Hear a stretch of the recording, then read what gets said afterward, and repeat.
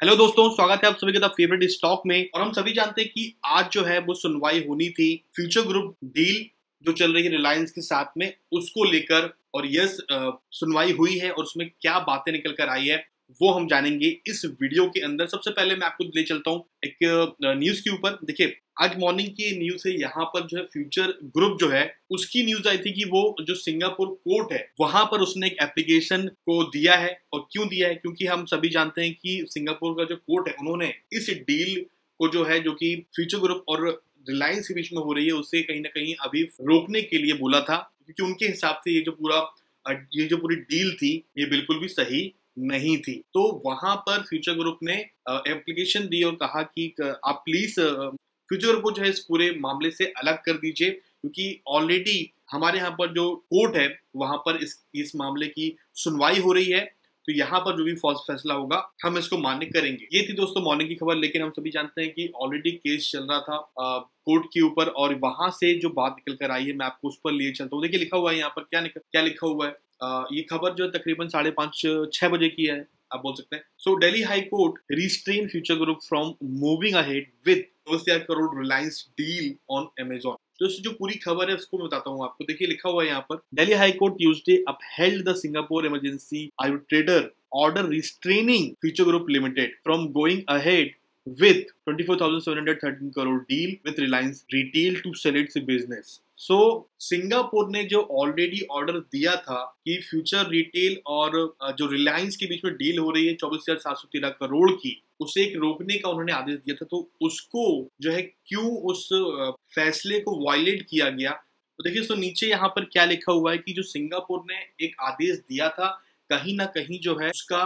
उल्लंघन हुआ है और इसको, इसमें जो है कहीं ना कहीं आप बोल सकते हैं कि जो बयानी है किशोर बयानी जी, उनको एक दोषी के तौर पे बताया गया है। ये बिल्कुल भी पॉजिटिव खबर नहीं है इसके लिए, फ्यूचर ग्रुप के लिए, फ्यूचर किशोर बयानी जी के लिए।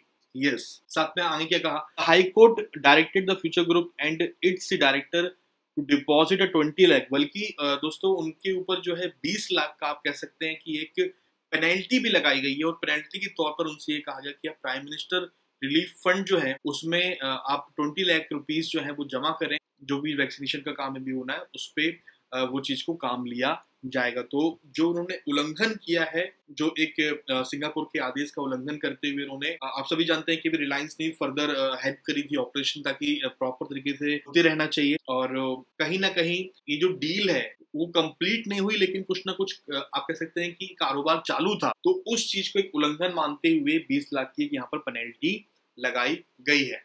और साथ ही में 28 अप्रैल को जो है उन्हें कोर्ट में हाजिरी देने के लिए भी कहा गया है और साथ ही में ये भी कहा गया है कि क्यों आपको तीन महीने की न्यायिक हिरासत में ना लिया जाए जब आपने एक ऑर्डर को वायलेट किया है उसको उसका उल्लंघन किया है। सो so, आप कह सकते हैं कि कोर्ट का एक कड़ा रवैया हमें देखने के लिए मिला। फ्यूचर के जो मालिक हैं किशोर बयानी के तरफ़ और उनको ये भी कहा गया है कहीं ना कहीं कि आपको न्यायिक हिरासत में भी लिया जा सकता है। और 28 अप्रैल को उनको अभी उपस्थित होना होगा कहाँ पर?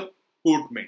और देन आफ्टर जो भी इनसे क्वेश्चन पूछे गए हैं इन सब के उनको आंसर देने होंगे वहाँ पर और फिर आगे की चीज़ निकल कर आएगी। दोस्तों कहीं ना कहीं देखिए इस पूरी डील में अभी ये निकल कर आ रहा है कि कुछ आगे के दोस्तों अभी एक्शन नहीं लिए गए, बल्कि उन्होंने जो ऑलरेडी सिंगापुर कोर्ट के जो ऑर्डर का उल्लंघन किया है, उस पर उन्होंने कहा कि यस आपने उल्लंघन किया है और उस पर पेनल्टी लगाई गई और साथ ही में ये भी कहा, आप ट्वेंटी अप्रैल को उपस्थित हो जाइए, वहाँ पर आप ये भी बताइए क्यों आप पर केस ना किया जाए और न्यायिक एक हिरासत में आपको क्यों ना लिया जाए, जबकि आपने इस ऑर्डर का उल्लंघन किया है। डेफिनेटली उस दिन शायद फिर आने की कुछ कार्रवाई होगी।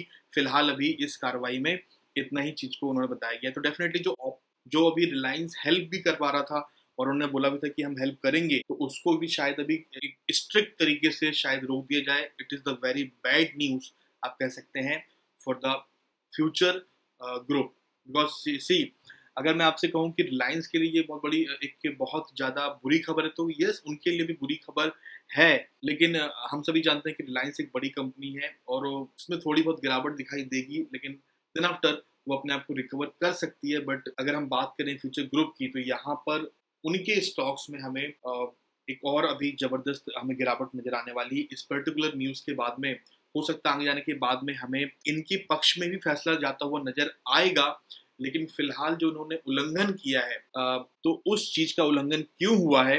पहले उस पर बात होगी देन आफ्टर इस डील को मेरे ख्याल से फर्दर जो भी एक आय का रास्ता दिखाया जाएगा, वो देखने वाली बात आगे की है। बट फ़िलहाल दोस्तों, ये खबर बिल्कुल भी सही नहीं है फ्यूचर ग्रुप के लिए। और इसीलिए दोस्तों, आज हमने देखा भी कि कहीं ना कहीं जो फ्यूचर के जितने भी स्टॉक्स थे सपोज़ मैं एग्जांपल के तौर पे आपको एफ़ e दिखाता हूँ अगर तो देखिए वो भी आज यहाँ पर आपको डाउन जाता हुआ नज़र आया काफ़ी। एंड अभी ये गिरावट मेरे ख्याल से आपको और भी नीचे जाते हुए दिखाई दे सकती है आने वाले टाइम पर। तो डेफिनेटली अभी फ़िलहाल आपको मेरे ख्याल से यहाँ पर कुछ भी प्रोटेक्शन नहीं करना चाहिए। जब तक भी एक क्लियर कट कोई डिसीज़न निकल कर नहीं आता है फ्यूचर ग्रुप और रिलायंस की डील के ऊपर। अभी आप सभी का ये ज़रूर कहना है कि क्या हो सकता है। सो so, देखिए अगर ये डील नहीं होती है तो बहुत से लोगों की अब रोजी रोटी छिन जाएगी। हम ये सभी जानते हैं हमने सब कुछ इसके बारे में सुना है। और आप सब कुछ जानते भी हैं इसके बारे में कि क्या क्या अभी तक होता हुआ आ रहा है। फर्दर जो है दोस्तों, इस डील पर हम ये सोच सकते हैं कि यस ये डील होगी क्योंकि अभी तक ये नहीं बोला गया है, कोर्ट में आज भी ये नहीं बोला गया है। इस डील में कोई भी ऐसी बात है। ये कहा गया है कि जो सिंगापुर, जो कोर्ट है, उन्होंने जो ऑर्डर दिया था, उसका पालन क्यों नहीं किया गया? सो, अभी तक बिल्कुल भी ये क्लियर नहीं किया गया है कि हाई कोर्ट क्या फैसला लेने वाली है, वो हमें डेफिनेटली एक अगली सुनवाई में पता चलने वाला है। दोस्तों, आपका इस पर्टिकुलर न्यूज़ पर क्या रिएक्शन है, मुझे कमेंट बॉक्स में ज़रूर बताइएगा। दोस्तों, अगर वीडियो पसंद है, वीडियो को लाइक करना बिल्कुल भी ना भूलें। पसंद आए तो आप डिसलाइक भी कर सकते हैं। मिलते हैं बहुत जल्द, जैसे ही कोई नई अपडेट आती है तो नई वीडियो में।